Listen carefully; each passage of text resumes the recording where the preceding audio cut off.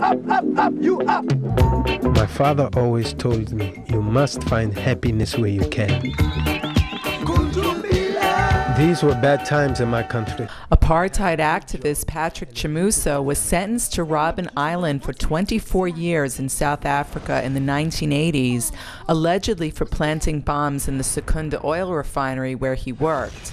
Catch a Fire is his story. It shows uh, how the regime treated the people because you couldn't uh, walk even from 9 o'clock during the night you couldn't do whatever you wanted to do. You couldn't move from city to city.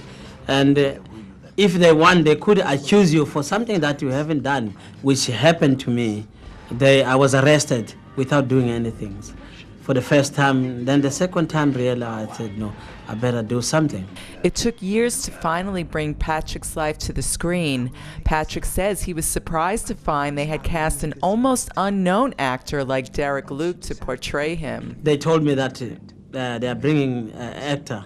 And I was expecting somebody like uh, Denzel Washington or Samuel Jackson and maybe Cuba Gooding. There I saw Derek Luke. I didn't know him. I was a little bit worried about the American accent.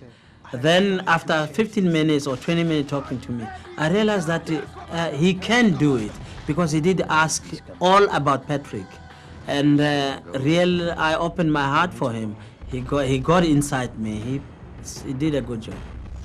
Director Philip Noyce had Patrick on call 24 hours a day to answer any and all questions to maintain the authenticity of his story. He get what he want. And believe me or not, he used to call me at about 12 o'clock. Said, hey, Patrick, what happens here and there? I said, this time of the day, man, I'm an old man. How can I? He said, no, I'm an old man too, but try to remember, I'm picking you tomorrow morning.